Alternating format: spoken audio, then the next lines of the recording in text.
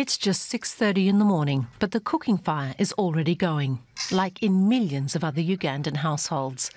Grace Baguma is preparing peanuts for breakfast. Her children pitch in, including 21-year-old Wilfred.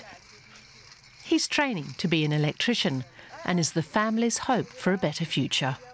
I see that Wilfred is a good boy, and my hopes are high for him. Something big is going to happen here. We'll get electricity, and he'll help us. I can feel it.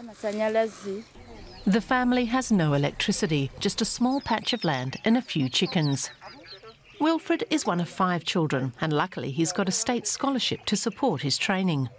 It's true that I bring for them electricity, more especially when I'm through with this certificate which I'm pursuing at the institute. And I get some work, when I'm, when I'm being paid, I will at least make sure that I've done something for them. Every morning, Wilfred Baguma walks almost four kilometres to school, nothing unusual in Uganda.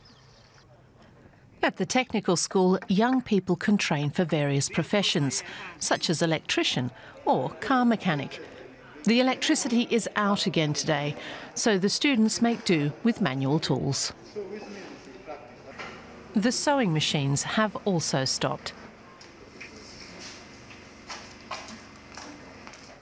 They need to get the generator up and running again. For the deputy headmaster, it's a familiar problem. You know, our, our power here is not stable. Uh, one day is on, one day, another day is off. And you know, we receive power from very far, from Jagali, very far. So the distance is very, very, very long. So any incidents along the way can affect our, our grid. That's why we're having a power unstable up country. The power supply is centrally controlled. It's expensive and in poor condition. One solution is to use local solar panels, but few schools can afford it. During their training, the budding electricians learn all they need to know about installation. Mariam Angayango wants to use her skills to help her family.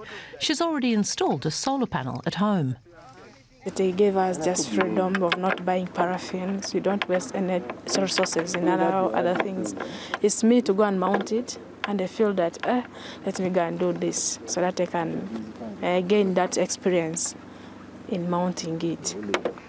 Electric ovens are a rarity in Uganda. Efficient use of firewood here is a big issue. A year ago, with the help of a South Korean bank and the Ugandan government, this school got a new oven. It uses 60% less firewood than the old one and requires less work to operate. The new oven is the best for me now. Fantastic. No smoke, no what. I like it very much. Is fast in cooking, very fast. And you put very little firewood. Justine Akumu from the Ministry of Energy is visiting the school.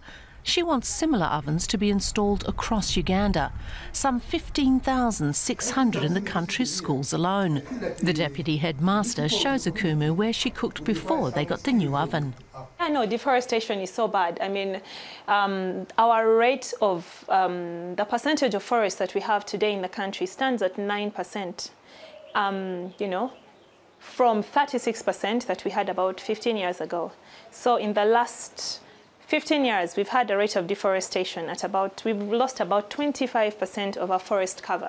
It's so much. And if you look at the root cause of deforestation, it is harvesting wood for energy, for cooking energy, because we use wood as our primary source of energy for cooking in schools, at households, in, um, in restaurants, in all institutions, even in the industries as a source of, um, of, of processed heat. Trees are felled everywhere, whether it be for charcoal or clearing large areas for agricultural land. 200 kilometres south of Kampala lies the new Africa Primary School. The school uses a lot of firewood. The headmaster says they can't afford a new oven. Justine Akumu tries to convince the headmaster to get one. She argues that it's possible for schools to take out loans with favourable conditions. So far, um, with improved cook stoves, we've, able to, we've been able to construct uh, more than 100 cook stoves in education institutions, uh, whereby we've been, um, and this was on a demonstration basis, whereby we just wanted to create um, awareness about improved cook stoves. So we did demos across the country so that other schools within those regions can benchmark.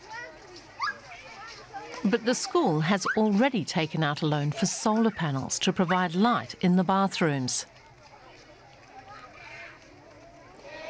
There's also a light bulb hanging in the classroom now, the result of an initiative from the school, parents and community.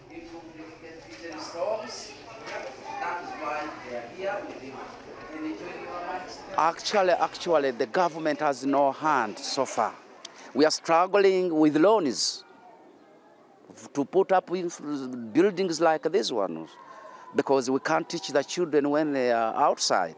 So what we do, we go to banks to get loans and put up classes so that children, Ugandan children, are able to access quality education. Like Mariam Angiyango, the young woman who, thanks to her good education as an electrician, was able to install one solar panel on the roof of her family home. Her family of 12 hopes there are more to come.